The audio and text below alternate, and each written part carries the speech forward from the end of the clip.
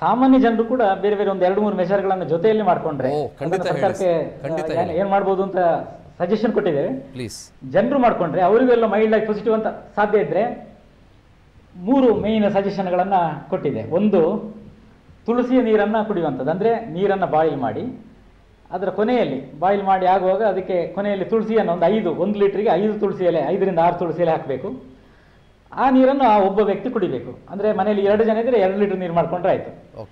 ಕುಡಿಯುವ ನೀರಿನಲ್ಲಿ ಅದರ ಮೌಲ್ಯವರ್ಧನೆ ಅದು ಒಂದು. ಎರಡನೇದ್ದು ಹಾಲಿಗೆ ಪ್ರತಿ ದಿವಸ ಸಂಜೆ ಅಥವಾ ರಾತ್ರಿ ಒಂದು ಗ್ಲಾಸ್ ಹಾಲಿಗೆ ಒಂದು ಕಾಲು ಚಮಚದಿಂದ ಅರ್ಧ ಚಮಚ ಅರಿಶಿನ ಪೌಡರ್ ಹಾಕಿ ಒಂದು ಮೂರು ನಿಮಿಷ ಅದನ್ನು ಬಾಯಿಲ್ ಮಾಡಿ ಫಿಲ್ಟರ್ ಮಾಡಿ ಸೋಸಬೇಕು ಮತ್ತೆ ಅದನ್ನು. ಸೋಸಿ ಅದನ್ನು ಬೇಕಾದ್ರೆ ಸಕ್ಕರೆ ಬೆಲ್ಲ ಹಾಕ್ಕೊಂಡು ಕುಡಿಬಹುದು. ಅದು ದಿನಕ್ಕೊಮ್ಮೆ ಮಾಡಬೇಕು.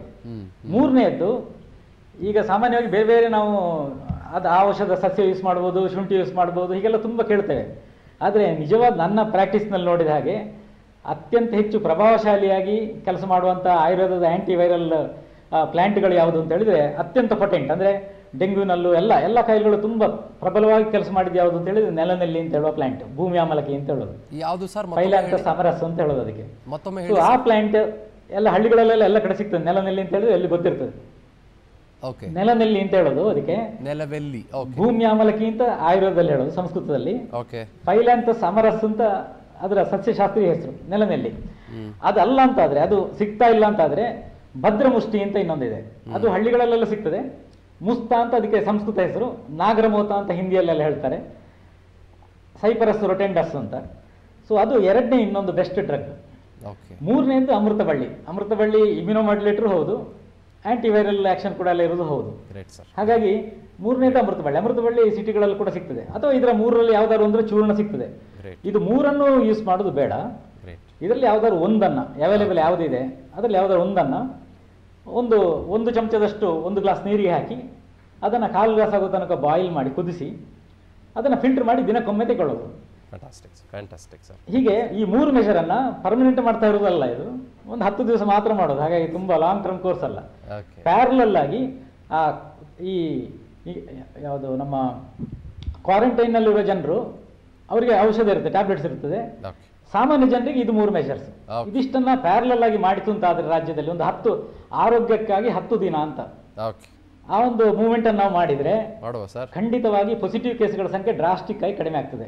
ಇಲ್ಲ ಅಂತ ಅಂತಾದ್ರೆ ಇದನ್ನು ಕಂಟ್ರೋಲ್ ಮಾಡ್ಲಿಕ್ಕೆ ಬೇರೆ ಯಾವ ದಾರಿ ಇದೆ?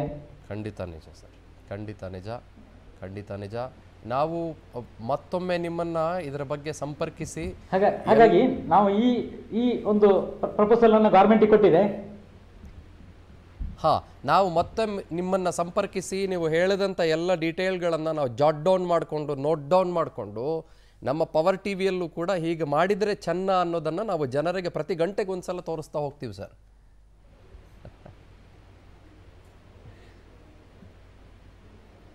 ಹಾ.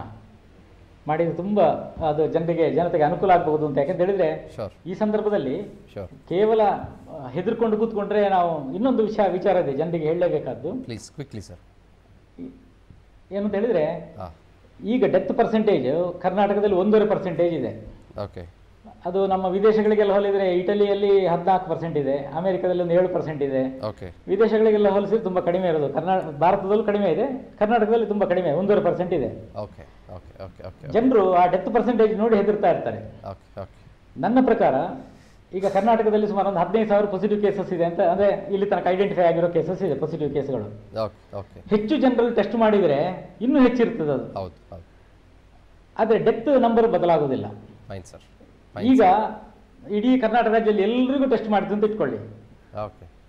ಕನಿಷ್ಠ ಒಂದು ಅರವತ್ತೆಪ್ಪತ್ತು ಸಾವಿರ ಜನರು ಪಾಸಿಟಿವ್ ಇರ್ತಾರೆ. ಎಷ್ಟೋ ಜನರಿಗೆ ಪಾಸಿಟಿವ್ ಇದೆ ಅಂತ ಗೊತ್ತಿಲ್ಲದೆ ಅಂದ್ರೆ ಅವ್ರ ಸಿಂಪ್ಟಮ್ಸ್ ಏನು ಇರುವುದಿಲ್ಲ. ಹಾಗೆ ಕೊರೋನಾ ಎಫೆಕ್ಟ್ ಆಗಿ ಪಾಸಿಟಿವ್ ಆಗಿ ನೆಗೆಟಿವ್ ಆಗಿರ್ತಾರೆ. ಅವ್ರಿಗೆ ಗೊತ್ತೇ ಇರುವುದಿಲ್ಲ ಕಾಯಿಲೆ ಬಂದಿದೆ ಅಂತ. ಹಾಗಾಗಿ ಆ ಪಾಸಿಟಿವ್ ಕೇಸ್ಗಳ ಆಕ್ಚುಯಲ್ ಕೇಸ್ಗಳ ಸಂಖ್ಯೆ ಖಂಡಿತ ತುಂಬಾ ಜಾಸ್ತಿ ಇರ್ತದೆ. ಅದು ಜಾಸ್ತಿ ಯಾವಾಗಿದೆ. ಆವಾಗ ಡೆತ್ ಪರ್ಸೆಂಟೇಜ್ ತುಂಬಾ ಕಡಿಮೆ ಆಗ್ತದೆ. ಯಾಕಂದ್ರೆ ಡೆತ್ ಆಗಿರೋದು ಸರಿಯಾಗಿ ಐಡೆಂಟಿಫೈ ಆಗಿದೆ. ಅಂದ್ರೆ ಈ ಒಂದೂವರೆ ಪರ್ಸೆಂಟ್ ಇರೋದು ಬರೀ ಕಾಲ್ ಪರ್ಸೆಂಟ್ ಆಗಿಬಿಡ್ತದೆ. ಅಂದ್ರೆ ಒಂದು ನಾನ್ನೂರು ಜನರಲ್ಲಿ ಒಬ್ರು ಡೆತ್ ಎಲ್ಲ ಆಗುವಂಥದ್ದು ಹಾಗೆ ನಂಬರ್ ಕಡಿಮೆ ಆಗ್ತದೆ. ಹಾಗಾಗಿ ಡೆತ್ ಪರ್ಸೆಂಟೇಜ್ ನಾವೀಗ ತಿಳ್ಕೊಂಡದಕ್ಕಿಂತ ತುಂಬಾ ಕಡಿಮೆ ಇದೆ ಖಂಡಿತವಾಗಿ. ಹಾಗಾಗಿ ಯಾರು ಕೂಡ ಇದಕ್ಕೆ ಹೆದರೋದು ಬೇಡ. ನಾವೆಲ್ಲ ತುಂಬಾ ಧೈರ್ಯದಿಂದ ಇರಬೇಕು. Thank you sir thank you Ghadar Kaje sir